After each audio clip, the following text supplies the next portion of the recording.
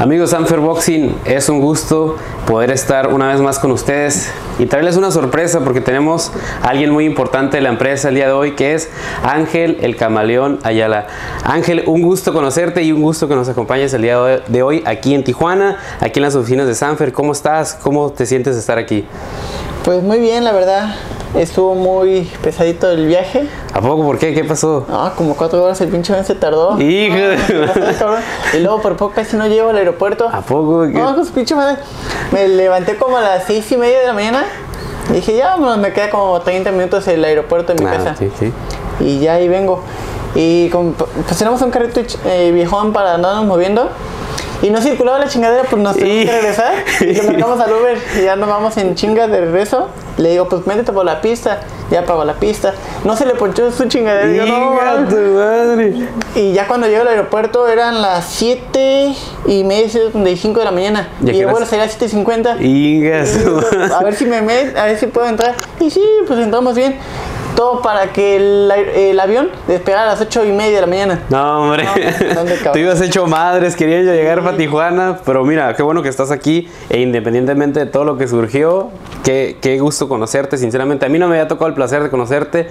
Eh, han pasado ya bastantes peleas en- y cuando tú peleas, pues no me ha tocado ir. Sin embargo, creo que hay bastante de qué hablar porque hay bastantes cosas buenas que vienen para tu futuro. Pero antes de cualquier cosa y retos y lo que a hablar, me gustaría saber cómo es que surgió el apodo del, del camaleón, de dónde viene. Ah, bueno, eso fue casi mis inicios. Mm, como a la semana, el, el señor donde estamos entrenando me dijo que si me quería subir a boxear. Y pues yo como era de calle, un chamaco así calle de calle, dije pues oh, vale nomás empezamos a darle. y me suben con un muchacho que yo tenía como tres años entrenando, buenecillo. Me dio una chinga y me Hijo. dijeron, no cabrón, pinche cara se puso de varios colores, güey. y dijo que no, no me estaba aguantando. Dije, hijo de pinche madre. Yo tenía que darle la mano, pero no. Y en eso se sube mi hermano, Ajá. uno más chiquito que yo. Se sube, del primer chingadazo, pum, me lo tiran a mi hermano. Dije, puta, qué madre. Por eso me dije, no, pinche camaleón bien rojo, amarillo, yo- blanco, de todo, cabrón. Te dio una tunda y por, por los colores, como dice la canción, de ahí surgió entonces el apodo. Sí, de, De- dijiste, ¿de qué parte de, de- eres tú? ¿De la Ciudad de México? ¿Del Estado de México? Pues yo soy. Era originario de Chimalhuacán. Ahí mm, viví, nací de todo, estuve un buen tiempo. Y de ahí, pues, gracias a Dios me pude comprar mi casa y la tengo cerca Ah, qué de. Tehuacán. Oh, muy bien. ¿Y todo esto surgió por el boxeo o aparte trabajas en otras cosas? Pues la, verdad, más que nada le debo mucho al boxeo, que fue lo que me ayudó más que nada en parte a esto.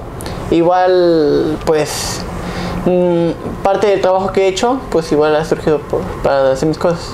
Muy bien, muy bien. Ahora me gustaría recapitular desde que tú llegaste a Sanfer. Tú llegaste a Sanfer a una gran función que fue en Metepec, donde te toca ganarte el privilegio de ser el, mundo, el número uno del mundo en el Consejo Mundial de Boxeo, ve- venciendo al látigo Rosales, la cual fue una gran pelea. Creo que el mundo se enteró de ti y te ganaste ese privilegio que con huevos lo sacaste, sinceramente.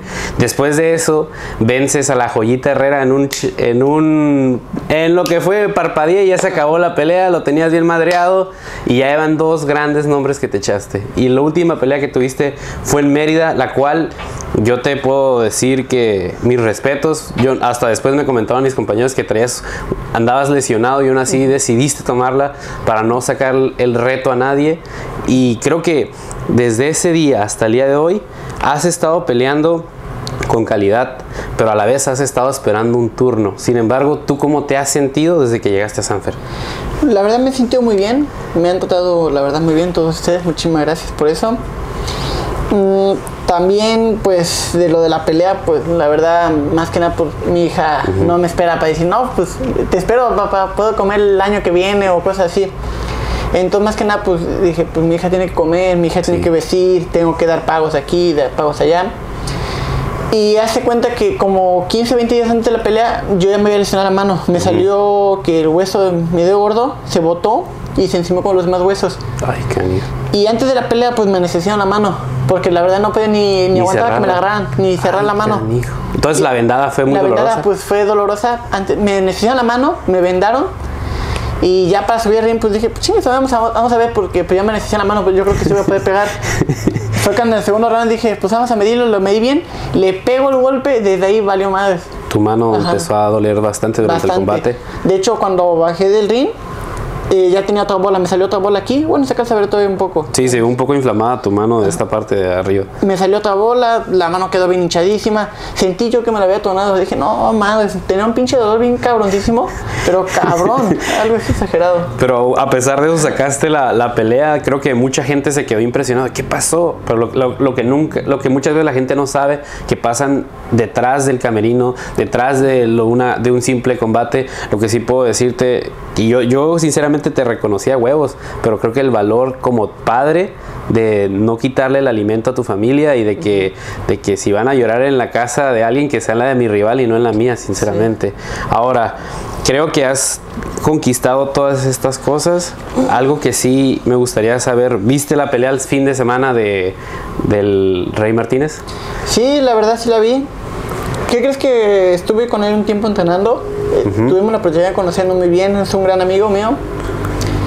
La verdad, pues él mucho antes de estas peleas se me hacía un gran peleador. Ahorita no sé qué le ha estado pasando. Pues igual, como él un día lo dijo, pues tú también vas a llegar a ser campeón mundial. Y pues yo ya me gané ese, ese, Ese- lugar, sí. yo ya me gané ese lugar. Y pues estaba pidiendo yo esa pelea. Y pues no se me hace Justo. justo que no me han dado esa pelea. Ya estamos pidiendo, ya soy el número uno. Como él le decía al Chihuahua Rodríguez, que pues no peleaba con él porque no está ni la clasificatoria. Pues yo sí estoy, yo estuve pidiendo la pelea. Tal vez no fue por él, a lo mejor fueron por las empresas que no se podían arreglar, cosas así. Pero pues estamos decidiendo la pelea, ya queremos esa pelea. Sí, y algo que hay que recalcar es de que tú ya tienes casi un año esperando la oportunidad desde que le ganaste a Cristian Rosales. Y algo que él siempre dice y le reconozco es que siempre dice con todo, con todo menos con miedo, con quien sea y donde sea. Y creo que te ha obviado, te ha ignorado, o, o como dices, han sido quizás otras cosas que no se ha dado ese combate. Algo que a mí me causó un poco de disgusto, puedo decirlo, y me, me impresionó, pero a la vez no entiendo, es que él decía que él quería ir a unificar con el campeón de la FIF, con Bam Bam. Sin embargo, hay un compromiso pendiente contigo y se tiene que arreglar. Sí, pues bueno, es lo que también están diciendo ahorita, que tenía su año, se puede decir como sabatino, Sí. con quien con el quien él quisiera, pero ahorita ya se le terminó eso. Ya me dijeron que la próxima pelea, ya ahora sí ya soy mandatorio. Ok. Ya ahora sí va a ser mandatoriamente la pelea. Y algo que sí hay que tomar con respeto, que en el Box Rec, a pesar de que él es el campeón, tú eres el número uno de México. Tú eres el, el- el boxeador más importante en las 112 libras de este país, por encima del campeón. Y yo creo que eso es algo que más exige ya ese combate, que ya pase.